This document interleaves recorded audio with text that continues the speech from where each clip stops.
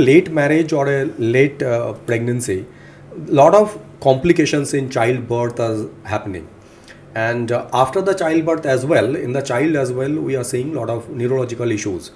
So how you suggest these genome or DNA test in terms of premarital or in terms of the childbirth or when they are conceiving the baby at that point of time? How do you suggest It's really an excellent question, uh, Mr. Indranil, I should say, because uh, nowadays we have a, uh, rather there is a uh, hormonal panel uh, we give in our DNA testing, where in which we know whether a girl is prone for premature ovarian failure.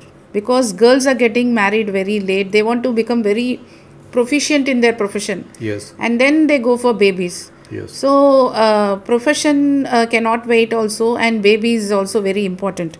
So, what we uh, generally suggest is either uh, you get this done uh, when you are 15 to 20, you get this test done for uh, girls to know their hormonal um, level in DNA.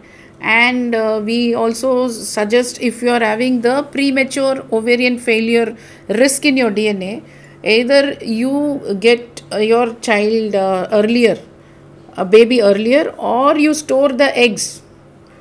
You can store the eggs and then whenever you want you can have your baby. That is what the suggestions we can give